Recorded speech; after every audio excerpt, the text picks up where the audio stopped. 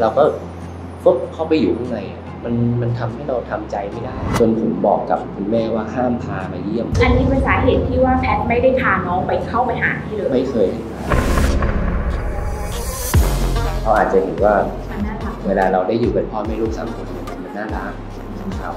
แต่ในวันเนี้ยมันมันเลยจุดนั้นมาไกลแล้วหากเขามีคนที่ดูแลเขาได้ดีอยู่แล้วเนี่ยผมยินดีมากๆ ผมเข้าไปตั้งแต่เลสซิ่งอายุสามเดือนอะแล้วผมก็เลี้ยงอยู่ที่บ้าน ในขณะที่ตอนนั้นแพทเขาก็ต้องออกไปทำงานแล้วอะนะผมก็ลูกคนเดียวของเรา เราก็ไม่เคยเลี้ยงเราก็ผูกพันเรารักเขามากลูกชายคนเดียว เปลี่ยนแฮมเพิร์ดให้นมพาเลออะไรแบบทุกอย่างแล้วอยู่ดี เราก็ฟบเข้าไปอยู่ข้างในอะมันมันทำให้เราทำใจไม่ได้ไงมันเป็นสิ่งเดียวที่แบบทำให้เราทุกข์ใจอย่างที่สุดอะจนผมบอกกับคุณแม่ว่าห้ามพามาเยี่ยม ผมรับไม่ได้ผมเห็นแล้วผมอยู่ไม่ได้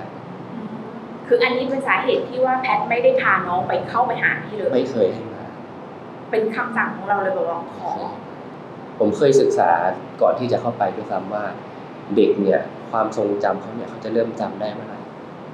ผมก็ดูมาว่าอาจจะประมาณสักสี่ขวบตอนนั้นน่ะน้องเพิ่งจะสามเดือน ผมคิดว่าไม่เกินสามสี่ปีเนี่ยคดีมันอาจจะจบแล้วผมอาจจะได้กลับออกมาน้องเขาอาจจะไม่ทันได้ แต่สุดท้ายมันก็ลากเวลากินยาวไปหกปีเกือบเจ็ดปีมาเจอหน้าลูก ความรู้สึกเป็นไงคะมัน มันมันมันจากสามเดือนแล้วจนตอนนี้น้องเขาก็จะเจ็ดขวบแล้วมันมันมันเวลามันแบบมันผ่านมันมาไวมาก คิดว่าอาจจะถ้าถ้าว่างปุ๊บเนี่ยก็จะคุยกันว่าเออเราจะแบ่งเวลากันยังไงก็จะได้จะได้อ่าสร้างความสนิทสนมให้เพิ่มมากขึ้นด้วย ดูเขาเกรงไหมคะ เกรงเกรงครับ ด้วยความที่เขาก็โตขึ้นแล้วด้วยอะหนุ่มน้อยแล้วนะครับเห็นไหมคะเหมือนกันเลยค่ะก็เหมือนทุกคนบอกเหมือนเหมือนตลอดเหมือนเหมือนทอดกันไปเลย